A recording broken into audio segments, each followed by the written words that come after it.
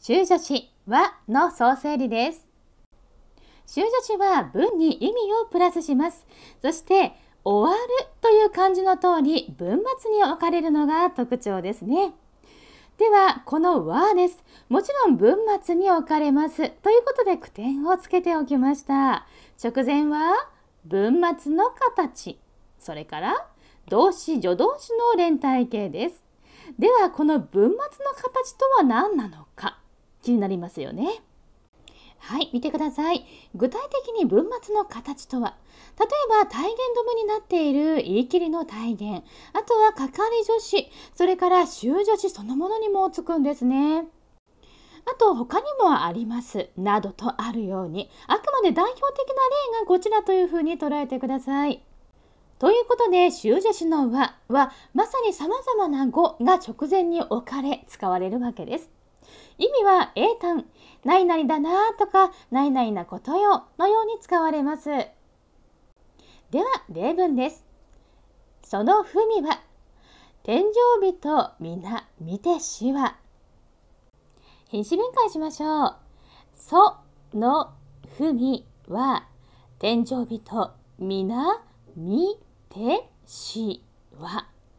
このように区切られるんですよ。え、そうだったっけ？と思われた方のためにお話しします。そして聞きながら、ああ、まだ自分はこれは分かっていなかったんだ、覚えていなかったんだ、復習しなくっちゃ、というふうに考えていただきたいんですよ。そは名詞です。代名詞。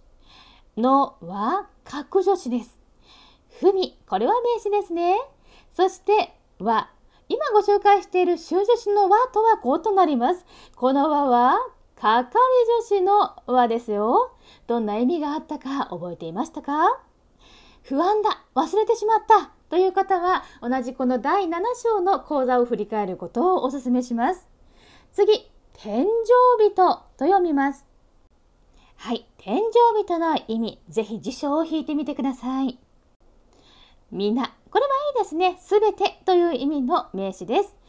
みですが、これはそう、動詞ですね。はい、魔行上一段動詞の見るですね。そして、この見るの意味は非常に多くありますので、ぜひ辞書を引いていただきたいところです。続きましょう。手、接続助詞、それから、し。これは過去の助動詞のきの連帯形です。それから、いよいよ出てきましたは、これが修助詞の和なんですね。和の直前、過去の助動詞の木の連帯形だというお話をしました。実際、接続のルール通りになっていますね。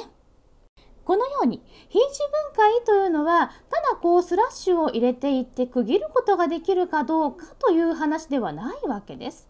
なぜ品詞分解をするかというと正確に意味を捉えるためつまり分けた上でこれが名詞でこれが格助詞でこれが名詞でこれが係助詞でというように、えー、全てスラスラと言えていくような復唱の仕方が重要なんです。そんなすぐにいっぺんにスラスラいくわけにはいかないよ。そうやって頭を抱えてしまう皆さんの様子が目に浮かぶようですがでも大丈夫です。皆さんは特にこの第7章を通じて一つ一つの品詞について勉強を進めてこられています。ただそれをいっぺんに目にした時に使い分けに慣れていないだけのことです。もちろん復習の仕方はただ動画を見るだけでは足りませんよね。高校生の皆さんであれば学校で文法の解説書を使いながら学習を進めておられるはずなんです。助動詞一覧表などを使ってしっかりとこの一つ一つの品詞を確認して活用を確認して意味を見るその地道な作業を大事にしてくださいね。いかにこの和が修助詞で英単で感動の意味を示すということが分かっても何に感動しているのか分からなかったら使い物になりませんよ。ということでお話ししましょう。はい。その文はあなたのその手紙は天井人皆見てしま天井人が皆見てしまったよ。はい、えー、修助詞の和ですがとにかく文末に置かれているという修助詞の特徴をしっかりと捉えてください。もちろんね和には係助詞があります。文で和を見たらどちらだろうと悩んでしまうお気持ちもわかりますがまずはそもそも係助詞と修助詞の役割の違い特徴の違いをしっかりと復習です。そして修助詞の和の直前ですがまさに様々な語に置かれます。その語や語の形すべてを暗記してしまおうとするのはあまり効果的ではありませんそれよりもこの和が修助詞であるので文末にあるということを意識しながら学習を進めてくださいね。意味は英単です。何々な、何々よと訳せばいいですよ。修助詞はの総整理。